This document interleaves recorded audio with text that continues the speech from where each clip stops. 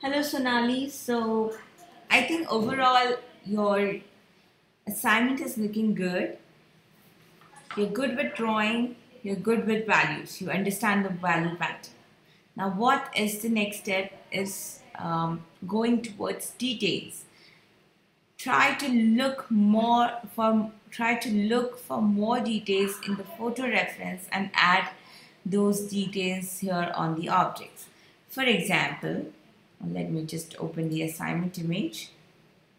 Okay, so here on the metal object, I can read the reflection of the pomegranate. Actually, there are lines, like really fine lines of different values.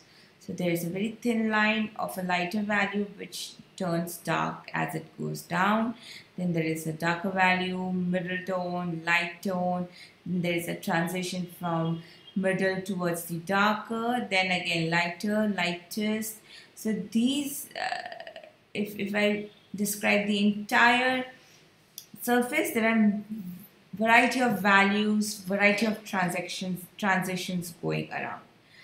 So the next step from now onwards would be you would would be to view more details on these objects and then add them accordingly.